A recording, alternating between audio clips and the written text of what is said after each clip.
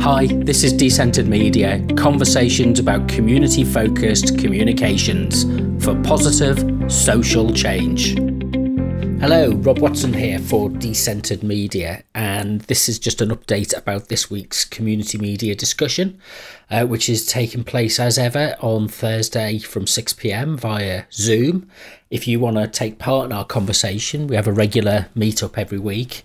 Uh, go over to patreon.com slash decentered media and you can subscribe there and you'll get the, the link to the Zoom uh, as well as a link to the Decentered Media forum and any other kind of stuff that I uh, send out uh, in in advance or on top of the things that I already do via the Decentered Media website, which is decentered.co.uk. so this week, what I want to talk about, or we, we you know think it'd be useful to discuss, is uh, we've had the news this week that the BBC is um, what's the, the, right word to use here? I suppose emasculating BBC local radio, further emasculating BBC uh, local radio, and it's consolidating uh, program production, network output, and it's reducing the amount of original local uh,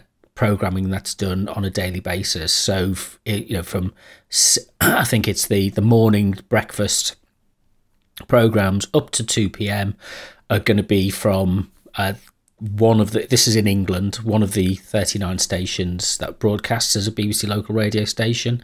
Uh, but from the afternoon, they will be uh, regionalised. So Leicester is going to be combined with Northampton uh, I think Liverpool is going to be com- combined with Manchester, um, and then at certain times in later on in the day, it'll be further consolidated, whereby you know Lancashire, Liverpool, Manchester will be combined into one regional uh, program, and Leicester will be combined with Nottingham and Derby and other places. Uh, the details are on uh, the website and some links to the news articles uh, that uh, broke this yesterday.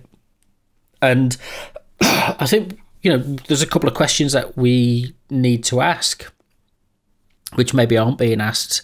You know, we've seen this huge celebration of 100 years of the BBC, this kind of self congratulatory outburst, but. Uh, I, am kind of a, a, bit more skeptical about the future of the BBC because I think there's a few uh, essential elements that are missing. One of which is part, citizens' participation and engagement. Who was asked about this? Where's the evidence that uh, people who live in Leicester or Liverpool or Manchester or wherever, Coventry, Oxford, Cambridge, all the places that are affected by this in England. Where's the evidence that anybody this was discussed with anybody? Where's the uh, where, where's the evidence of demand? Um, and there's a there's a kind of problem that these things become a self-fulfilling prophecy if we're not careful. So it's people lose interest in local radio because we're not investing in it. It gets run down. So then it gives people the opportunity it's like you know think of your local library. Um, you know you stop investing in it you stop buying new books for it you don't decorate it as often as you should uh, you don't update the computers. So people stop going and then they say, oh, well, people aren't coming, so we can't spend as much money on it. And then eventually it reaches the point where somebody says, well, you know what, nobody really uses the library, but, you know, why don't we just sell it off and somebody can turn it into a fast food restaurant or something, or somebody can, you know, turn it into a, a, a carpet warehouse showroom. And you kind of end up in this situation where it becomes a self fulfilling prophecy because what you're not doing is investing in local voices and people having a direct say to talk about the things that matter to them.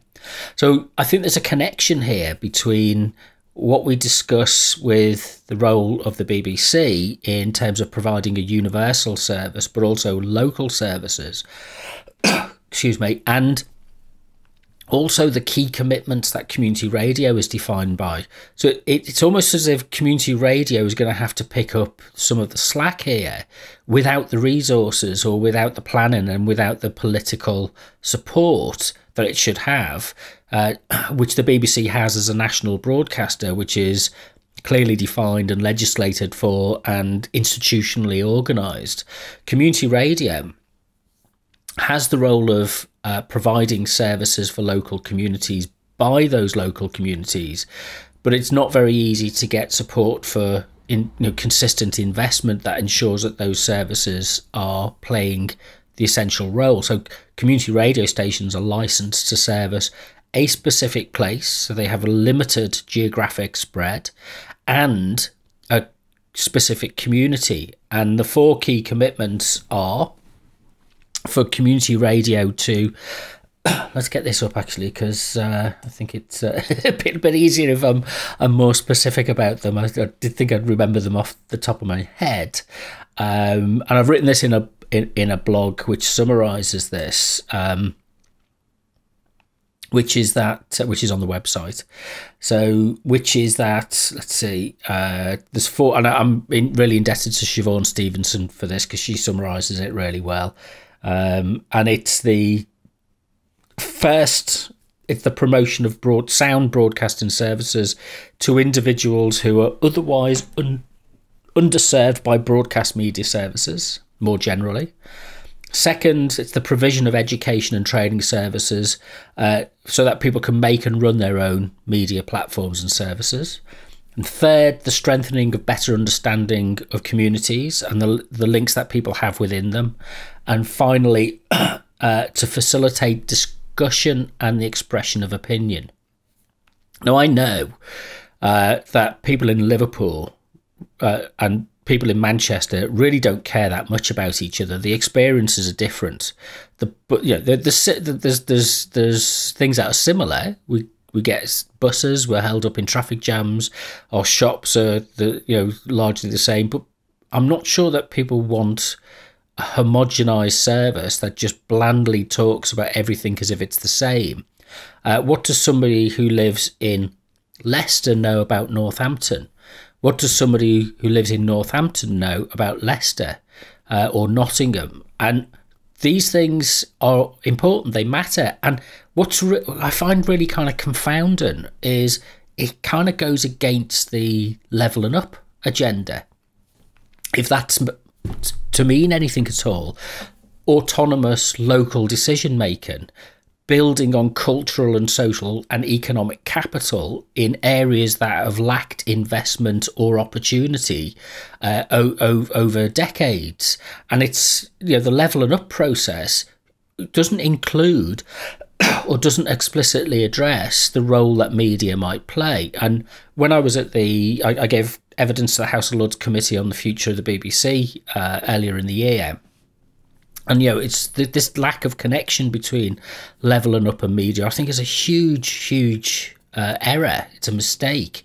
And it'd be interesting that if any of our politicians from the governing party or the opposition parties take look at this and take this up and say no our media needs to be given a social role a, a social purpose to address civic dysfunction, to address uh, democracy issues, to address human rights, to address climate change, to address inequality, to address educational attainment levels, uh, economic opportunities. It, it, it seems as if we just passively let our media become this homogenized, uh, centralized uh, corporate product that is is you know kind of n- no use to to anybody in in practice. But i mean it, the commercial media uh, companies are very very sophisticated at branding themselves and you know kind of formatting programs and uh, bringing in celebrities to to present them and and you know that's that's on on an international level when you're competing against Spotify and Instagram and Facebook and Google, you know that that might be one of the challenges that you've got to do in the attention economy. But there isn't a grounding for local media, and I think one of the crucial things about community radio is that it serves a very distinct purpose. The people we work with in community radio often would never want to or be able to walk to the BBC or a commercial uh, media company, knock on their door and say, I would like to take part in a discussion. And they'd say, Well, we don't do that. You know, we have producers and presenters that provide these things for you. And so you're left out in the cold. You know, you've got nowhere to go.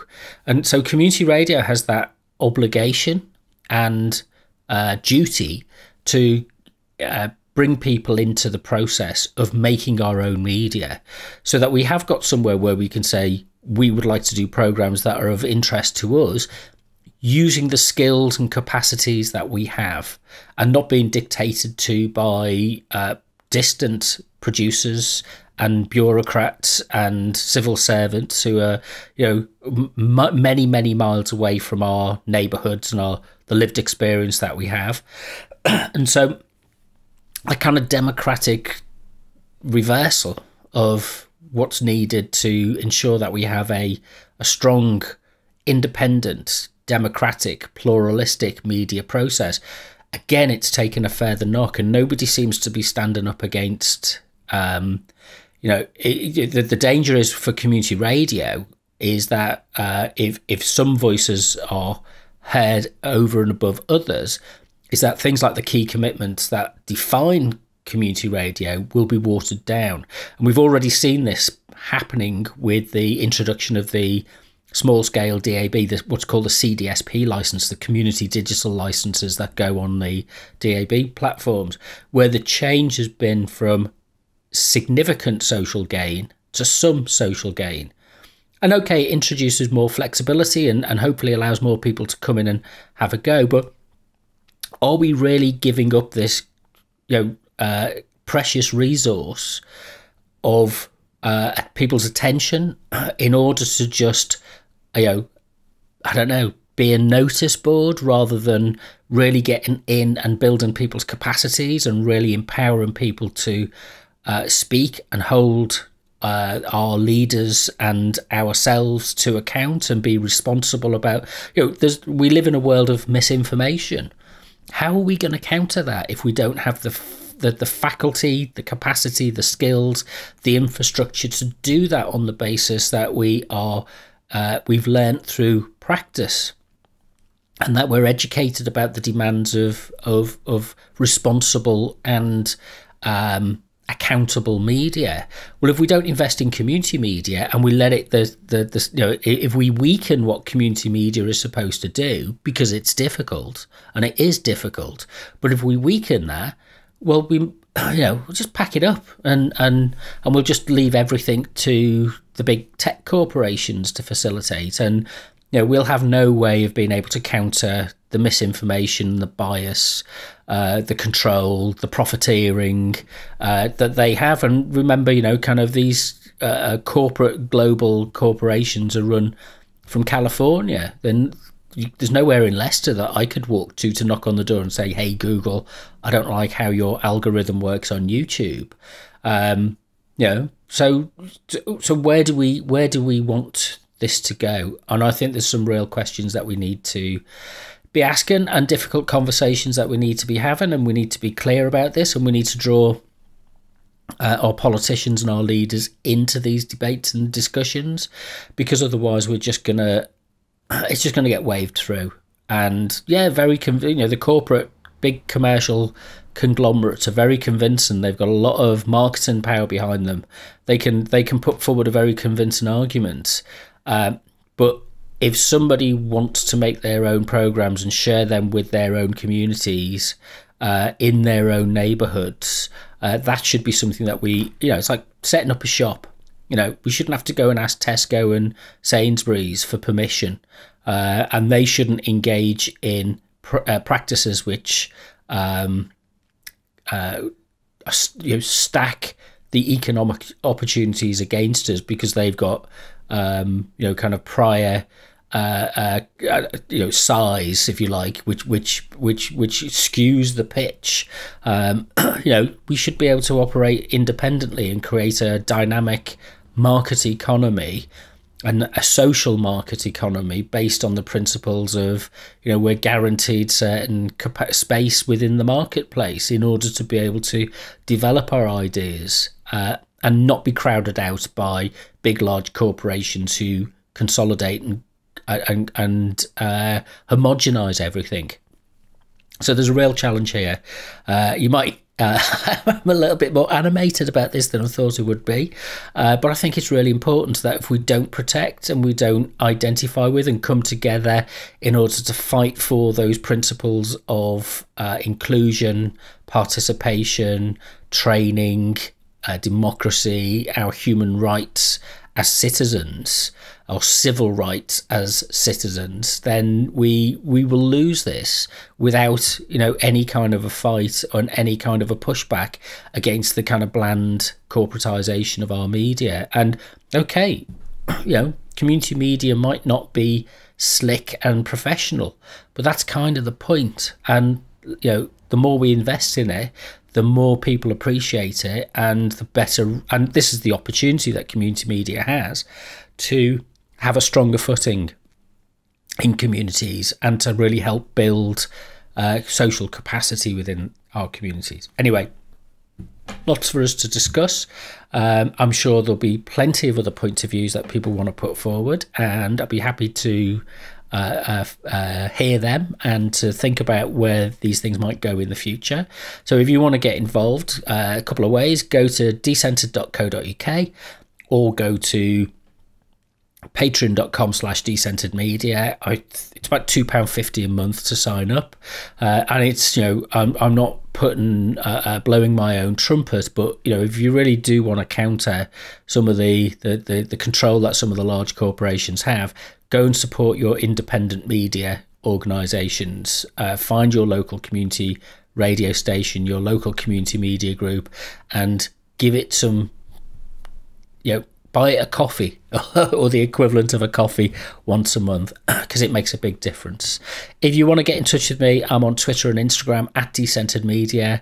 Uh, but otherwise, I'll speak to you soon and hopefully we'll have a really good conversation on Thursday. Visit decentered.co.uk or follow us on Instagram and Twitter at Decentered Media.